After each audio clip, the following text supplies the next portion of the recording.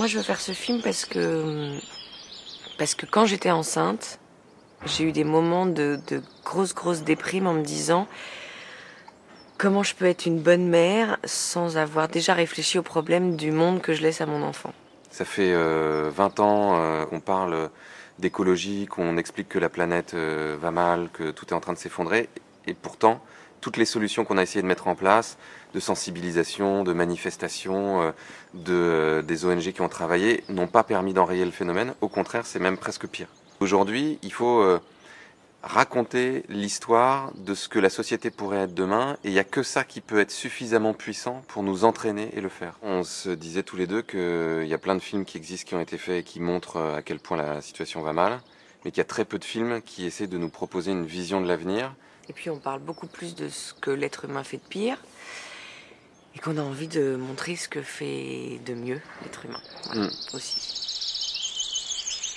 Ça nous importe beaucoup de le faire au cinéma pour plusieurs raisons. D'une part parce que l'objectif est de pas simplement de faire comprendre euh, ce qu'on pourrait faire, ni de montrer des solutions techniques, mais d'inspirer, d'émouvoir toutes les personnes qui vont venir euh, assister à ce film euh, en salle. D'autre part, le cinéma, c'est un véhicule extraordinaire pour proposer une nouvelle culture.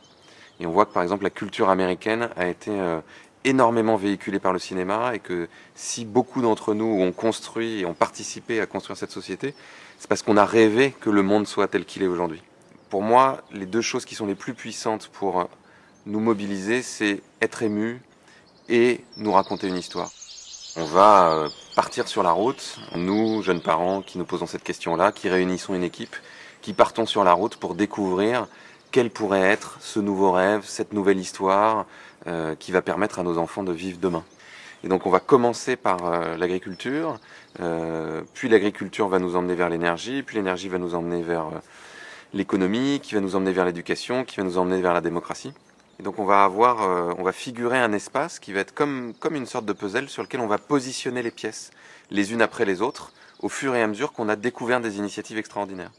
Chaque initiative qu'on va filmer va être une petite histoire on va raconter l'histoire de ces hommes et de ces femmes qui se sont mobilisés pour qu'il euh, n'y ait pas de centrale nucléaire euh, à Fribourg et qu'à la place ils construisent un des écoquartiers euh, pionniers en Europe dans le domaine énergétique, dans le domaine des transports, etc. Et là aussi, on va chercher à ce que le spectateur puisse s'identifier à ces hommes et à ces femmes qui nous ressemblent et puisse se dire oui, moi aussi, je pourrais faire ça. Moi aussi, j'ai envie de construire cette société de demain. Moi aussi, je pourrais faire ce que ces gens qui sont à l'écran font. Euh, et au fur et à mesure, on va avoir des embûches. C'est-à-dire que à chaque fois qu'on va croire qu'on y est arrivé, en se disant waouh génial, ça y est, on a trouvé euh, comment on peut faire l'agriculture de demain, hop, on va avoir une difficulté. Donc il va être un ressort dramatique et qui va nous, nous demander de la surmonter. Donc par exemple pour l'agriculture, on va se rendre compte que aujourd'hui l'agriculture est complètement dépendante du pétrole. Donc on a besoin de se euh, désintoxiquer du pétrole pour qu'on ait la marge de manœuvre de changer. Et qu'en prenant un pas de recul, quand on aura positionné justement toutes les pièces du puzzle, on puisse avoir le sentiment que ce monde est déjà là, que le monde de demain est déjà... On n'est pas dans la science-fiction. Exactement. Est déjà présent et que la seule chose qui manque, c'est que chacun d'entre nous se mobilise pour le construire. Et donc ça va parler aussi de beaucoup de solidarité. Ce qu'on, voilà, c'est un sujet dont on parle de moins en moins, la mm. solidarité. Comment euh, euh, plusieurs êtres humains ensemble peuvent, déplacer des montagnes. Mm. C'est ça aussi. Qui va sûrement être émouvant parce que obligatoirement on va aller montrer euh, ce qu'il y a de plus humain chez l'être humain. Mm, mm. On va avoir toute une histoire parallèle de Mélanie qui essaie d'obtenir un, rendez-vous avec le Premier ministre français pour lui demander, pour lui dire bon bah ok super, euh, nous on a vu des trucs géniaux dans le monde entier. Pourquoi on attend? Voilà. Pourquoi est-ce qu'on met pas ça euh, en place euh, en France? Changer la démocratie, de trouver des mécanismes démocratiques qui nous permettent Sinon, ça fait pleurer les bébés. Si on fait pas ça, ça fait pleurer les bébés. Et les bébés sont très inquiets déjà. Voilà. Je pense que c'est important qu'on ait une mise en scène, qu'on ait des cadres, qu'on ait une belle lumière, qu'on fasse du cinéma aussi. Et que aller montrer ce qu'il y a de plus beau et ce qu'il y a de plus positif, il faut aussi que la mise en scène euh, euh, servent. L'angle de narration qu'on a choisi, c'est que on puisse permettre aux spectateurs de s'identifier à nous. Donc on va nous voir dès le départ avec nos familles, Et on va nous voir tout au long du film, à la fois dans les trains, dans les avions, peut-être en train de dormir, en train de manger, pour qu'on ait ces rappels régulièrement qui fassent que le, voilà, de notre road movie et que, et que les gens ne perdent pas le contact avec nous et puissent nous suivre. Et à la fois, on va beaucoup utiliser la voix off, c'est des moments qui seront plutôt muets, et c'est la voix off de Mélanie qui va faire la colle du récit et qui là aussi va permettre aux gens de s'identifier parce qu'elle va se poser toutes les questions que chacun d'entre nous se pose.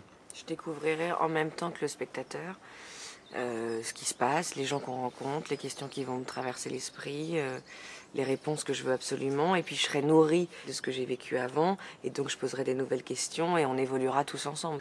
Et on va avoir des images magnifiques euh, d'écoquartiers, de, euh, de centrales solaires, éoliennes, de chaudières à bois, de couchers de soleil, de paysages. Et donc on va se donner la possibilité d'être ému avec quelques informations qui sont distillées par la voix off. Et c'est un procédé qui va nous permettre de vulgariser justement au maximum, sans simplifier non plus, mais que ça soit extrêmement accessible. Notre objectif est que, à la fois, on puisse être émerveillé par ce monde, par ces images, par ces êtres humains extraordinaires qui se mobilisent, qu'on puisse être euh, ému par la destruction de la nature, qu'on puisse être ému par euh, tous ces gens qui se mettent ensemble pour construire un autre monde, qu'on puisse être inspiré par cette vision du monde de demain et qu'on puisse avoir profondément envie euh, d'habiter dans ce monde-là, qu'on puisse rire, pleurer et que ça soit un vrai moment de cinéma. Moi, je suis sûre d'une chose, c'est que ce film va changer nos vies. En tout cas, à nous techniciens, ça c'est sûr. Et, et, je voudrais que le, le spectateur ait une évolution comme ça avec nous. Notre objectif avec ce film, c'est vraiment d'aller toucher un public extrêmement large, donc euh, que ce soit un film qui sorte euh, à l'international, qu'on s'adresse euh, aux personnes qui aujourd'hui se posent des questions mais de très loin et qui sont pas forcément déjà des convaincus, donc de sortir du petit cercle des personnes qui vont toujours voir ces films-là pour rentrer dans le cercle de des millions de personnes qui, euh, en France et à travers le monde, sont prêts à agir et à se mobiliser si on leur donne des clés. Si on leur montre des solutions, si on leur propose une vision et qu'on les entraîne dans, un, dans une nouvelle histoire, justement. Avant même qu'on ait parlé de comment on allait faire ce film, ce film me faisait du bien. C'était déjà un film euh, qui me rendait le sourire, qui me rendait heureuse et, et ouais, je me disais, euh, il faut absolument que ce film existe. Parce que euh, il, va, il va aider les gens et il va, il va nous rendre euh, plus forts et, et, et plus heureux, j'en suis sûre en fait. Donnez-nous de l'argent.